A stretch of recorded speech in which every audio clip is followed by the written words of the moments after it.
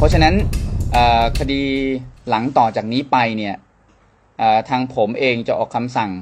นะฮะของพรรคไทยศรีวิไลในการตั้งคณะทำงาน แล้วก็ที่ปรึกษาด้านกฎหมาย ในการสู้คดีให้น้องแตงโม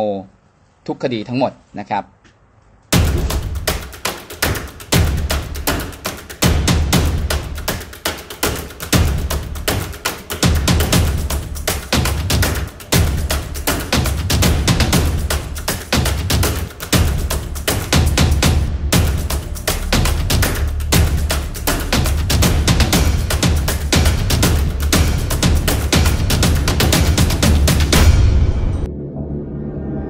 คือเบื้องต้นนะครับ คืออเมื่อเช้า ผมได้รับแจ้งจากคุณแม่แตงโม คุณแม่พนิดานะฮะที่เป็นคุณแม่น้องแตงโมน้องนิดาพัชระวีรพงศ์นะครับ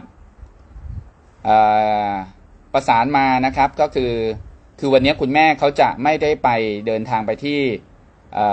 กองบัญชาการตำรวจไซเบอร์นะฮะตามที่ทนายเดชาแจ้งไว้นะครับ ก็เดี๋ยวรอให้ทาง ตำรวจไซเบอร์เนี่ยออกหมายเรียกพยานมาก่อนนะครับ แล้วก็เดี๋ยวจะบอกอีกทีว่าทางฝ่ายกฎหมายของพักเนี่ยจะาพาคุณแม่ไปวันไหนอีกทีหนึ่งนะครับ เกี่ยวกับเรื่องโทรศัพท์นะครับของน้องแตงโมนะครับ แล้วก็คดีหลังต่อไปจากนี้นะครับ ต่อไปจากนี้นะครับทางผมเอง ก็ได้คุยกับท่านพี่อัจฉริยะนะครับแล้วก็ประสานกับคนที่เป็นพยานเกี่ยวกับเรื่องคดีน้องแตงโมทั้งหมดนะฮะซึ่งต่อไปจะเป็นการตั้งคณะอ่าทำงานนะฮะเกี่ยวกับคดีน้องแตงโม อีกคดีอีกประมาณ 2 คดีด้วยกันนะครับ อีกสองสองคดีด้วยกันก็คือ คดีที่คุณแม่แตงโมมองว่าเป็นฆาตกรรมนะครับ ก็จะดำเนินคดีกับผู้ที่กระทำความผิดหรือผู้ที่เกี่ยวข้องนะครับ ตามประมวลกฎหมายอาญามาตรา 289 วงเล็บ 7 นะครับ ซึ่งณปัจจุบันนี้ได้มีการเตรียมทีมนักกฎหมายไว้ประมาณสัก ตอนนี้ก็ประมาณเกือบ 10 คนด้วยกัน ที่จะมารับมอบในการดำเนินคดี โดยตรงต่อศาลอาญานะครับ แล้วอีกคดีหนึ่งก็จะเป็นคดีแพ่ง ซึ่งจะประกอบกันนะฮะแบ่งเป็น 2 ชุดด้วยกันนะครับ แล้วก็ผู้เสียหายทางคดีอาญาก็จะมีคุณแม่แตงโมคนเดียวนะครับ ส่วนผู้เสียผู้เสียหายทางแพ่งในคดีแพ่งเนี่ยก็เดี๋ยวต้องค่อยติดต่อคุณเบิร์ดนะฮะที่เป็นเป็นแฟนน้องแตงโมนะฮะน้องแตงโม เพราะว่าสามารถเป็นผู้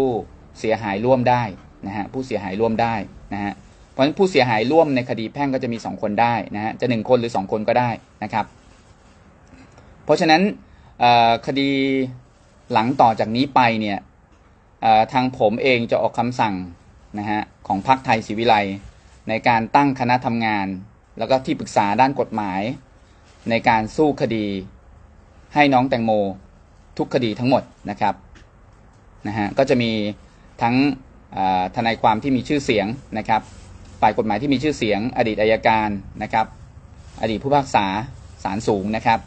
ก็จะอยู่ร่วมในคณะนี้ด้วยนะครับ ทั้งเปิดเผยและไม่เปิดเผยนะครับ ส่วนเรื่องอาการดำเนินการทั้งหมดเกี่ยวกับเรื่องค่าใช้จ่ายนะครับาทางพักไทยศรีวิไลเป็นคนรับผิดชอบทั้งหมดนะครับ ทางพักไทยศรีวิไลเป็นคนรับผิดชอบทั้งหมด ไม่ว่าจะเป็นเงินเงนประกันวางสาราค่าใช้จ่ายในการเดินทางค่าลือชาเกี่ยวกับเรื่องค่าธรรมเนียม ค่าลือชาเกี่ยวกับเรื่อง ค่าทนายความ ค่าใบประกอบวิชาชีพนะฮะที่ทนายความแต่ละคนที่มีส่วนเกี่ยวข้องนะครับ ส่วนทีมของอพี่อัจฉริยะเขาก็จะมีทีมทนายความของเขาในส่วนนี้เขาก็จะช่วยช่วยฟรีนะครับช่วยฟรีทั้งหมดนะครับ ต่างคนต่างช่วยฟรีนะฮะช่วยฟรีทั้งหมดนะครับ เพื่อให้ความเป็นธรรมและยุติธรรมกับน้องแตงโมให้ถึงที่สุดนะครับ เพราะเป็นคดีตัวอย่างนะครับอ่าเพราะเป็นคดีตัวอย่าง แล้วก็ต่อไปเนี่ยฮะใครที่กล่าวหาคุณแม่พนิดานะฮะหรือไปพูดอะไรให้คุณแม่แตงโมเสียหายเนี่ยทางฝ่ายกฎหมายของพรรคจะดำเนินคดีทุกกรณีทั้งแพ่งและอาญานะครับ